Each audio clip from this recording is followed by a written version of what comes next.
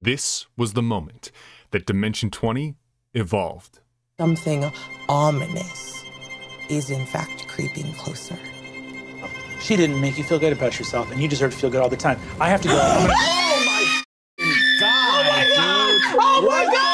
That was it. The simplicity of some guy in a moose hat creeping around backstage changed everything. He, or more accurately Aabria Iyengar, is the reason Dimension 20 is in its golden era right now, with seasons like Mentopolis and Burrow's End. The skyrocketing production values, the experiments with projection and lighting, the new game systems, the props, the sets, even the hair, makeup, and the costumes. Except for Brennan, he still only has five shirts. I own lots of shirts. All of these awesome upgrades, these wonderful additions that make Dimension 20 even more fun to watch than it already was, are all due to Aabria Iyengar. Yar. So how exactly did we get here? Let's take a brief look at Aabria's career and how she came to be such an influential figure in the actual play space. Aabria has had a fascinating career. She's run games for arguably the three biggest shows out there, Dimension 20, The Adventure Zone, and Critical Role. But she first started appearing in shows back in 2018 as far as I can tell. She first appeared on several series on Happy Jack's RPG network, she ran and played on Saving Throw, and eventually on Roll20 Presents, where she played in several of the official D&D modules. And while those shows definitely brought Aabria into relevance,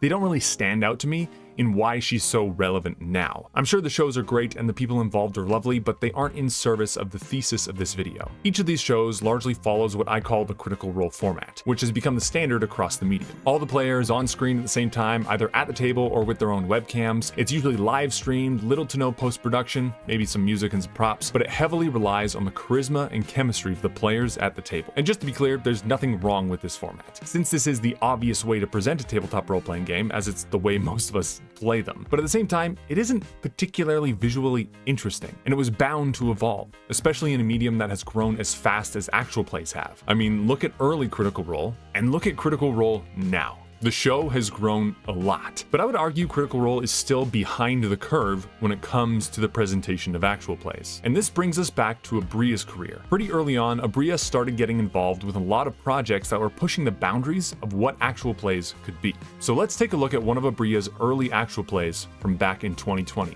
The Unleashed.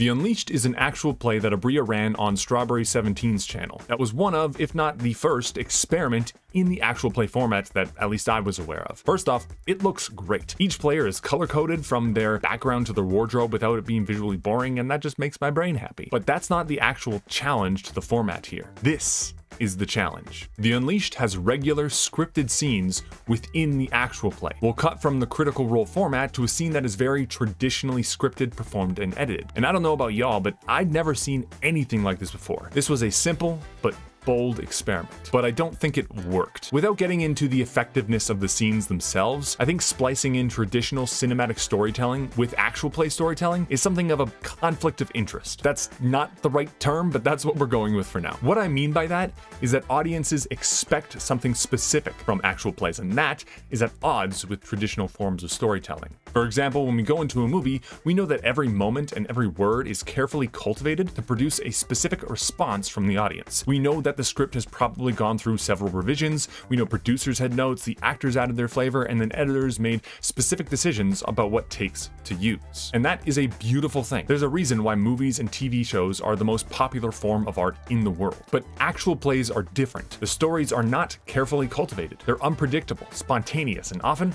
really messy, which I think is what people like about them. They like the chaos, they like the excitement of not really knowing what's going to happen. They like the suspense of knowing that a bad die roll is all that can stand between their favorite character and that character's end. And I think people enjoy watching the people create the story as it's being created, if that makes sense. It's exciting in a way that traditional media isn't. So when you splice these two styles together, it creates a jarring experience, or at least it did for me. We jump from the spontaneous excitement of an actual play to the specific and polished cinematic style.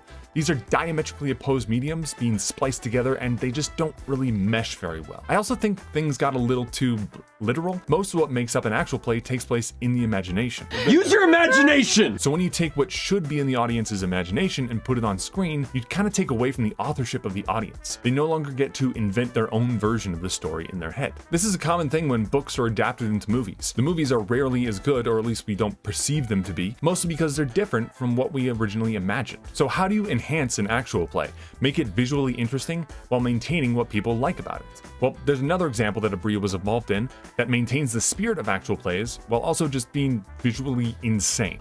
Kolok. Kolok is one of the weirdest actual plays I have ever seen. Not in terms of the system they use, the story, or the performers, but in the sheer number of artistic risks they take during the course of the show. It's still using the critical role format, everyone is sitting around the table playing a tabletop role-playing game, but it's kind of visually insane. The set is incredible, the lighting changes based on the tone of the current scene, and they add visual effects to try and enhance the mood, like this old school VHS type filter, or this.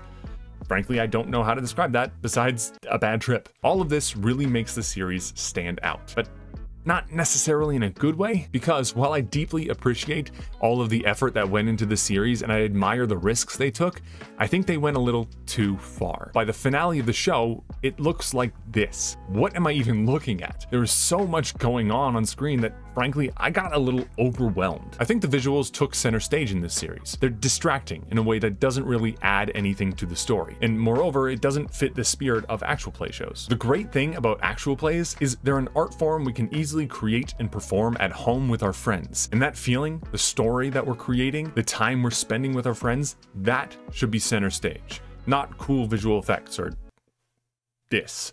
Now, don't get me wrong, I'm not mocking or trying to devalue these shows. Failed experiments are extremely valuable because when you learn what doesn't work, you get closer to what does. What we learned from The Unleashed is that actual plays need to lean into what makes them unique, not lean on more traditional forms of media and that we need to keep actual plays in the realms of the imagination. The audience doesn't need or want literal representations to tell us what's going on. And what we learned from Kolok is that the game, the story, the performers should be the focus, and any visuals, effects, or costumes should be there to support, not overshadow what the people came to see. So how do you make actual plays more visually interesting and engaging without subtracting from what makes them special? Enter Aabria Iyengar on Dimension 20.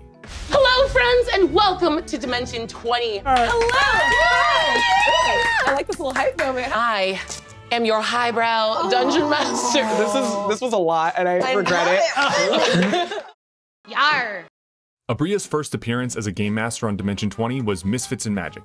In my opinion, one of their best seasons. She appeared as a player in Pirates of Leviathan as well, but that's less significant to the topic at hand. As soon as Misfits and Magic started, Aabria was bringing a new kind of energy to the dome. Her style was very different from Brennan's, being much more character focused than narrative focused. And another interesting change was the color of the dome, in that there was more than one. In every other season of Dimension 20, the dome was always just one color at a time. From the beginning, it would change color, mostly from blue to red to indicate a roleplay or battle episode, with a couple other colors mixed in to match the mood. But the opening scene of Misfits Magic has this sort of pink and purple pattern, and it makes the dome feel much more alive. Some of the other changes she made include a new RPG system that is not D&D 5e, shocker. She ran Kids on Brooms, a magic variant of Kids on Bikes, which honestly I think is a better fit for Dimension 20 than D&D, but that's a topic for another video. She also brought props into the dome, and not just any props, story significant props that grow as the characters do. Each player receives a wand in the beginning that is plain and boring, nothing interesting about it. But when they have a significant character moment, they receive a new moment,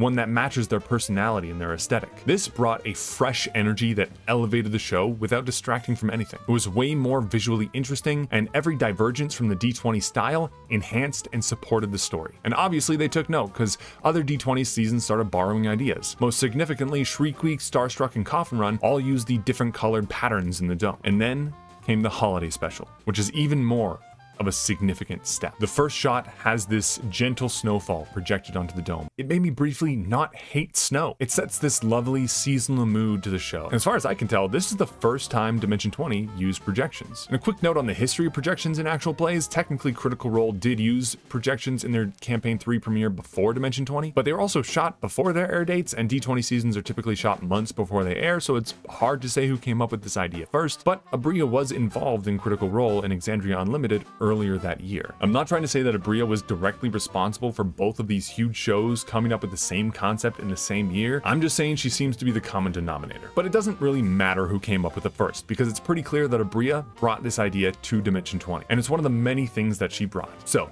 a nice, gentle snowfall. It adds some ambiance, it makes it feel like a real holiday special, but it kind of just stays there. Doesn't really do much except be there. And while I was watching that episode for the first time, I couldn't help but think there's a lot more potential to this idea. And then this happened. I have to go. I'm gonna- Oh my god, oh dude. Oh my god! I just love this moment so much. I genuinely feel like it broke some boundaries in the best way. I mean, Luke kind of says it. This is supposed to live in the imagination. And I think the reason this works, whereas previous attempts like Riftside and Kolok didn't, is because of its simplicity. It's just an orange light and a guy in a creepy moose hat. It's much more theatrical, leaves a lot more to the imagination, while also accentuating the moment. And then, Aabria goes further and does this. Oh my god, there's another one! How is there another one? I just love it. And Aabria doesn't stop there. Her next outing as a GM was Court of Fey and Flowers, where she doubled down on a lot of the things that made Misfits and Magic so special. At the time, this was the most decorated the dome had ever been. It genuinely looks incredible. More detailed projections were used, there were more props, so many props, and it helped to serve the performance and story. She already laid the foundation of this style, and here she's just building the house. And this style worked so well that she completely and utterly changed Dimension 20 for the better. This year has been one of D20's best, and I think Aabria deserves all the credit for it. Mentopolis, despite Aabria's absence as both a player and a GM, has her style written all over it. Aabria, let me know how I'm doing. It even builds on her previous contributions, but in a way that serves this season's story. Brennan is running a noir version of Kids on Bikes. He's using props and projections, and even projects story relevant art into the dome. And all of this led to Aabria's magnum opus so far Burrow's End. Burrow's End is so good, it makes me mad. Its story and performances are wonderful, Ah, my dick! but the production level is fucking phenomenal. Aabria brought full animation into the dome, the gnarliest, most visceral battle map I've ever seen, and an absolutely horrifying audio drama.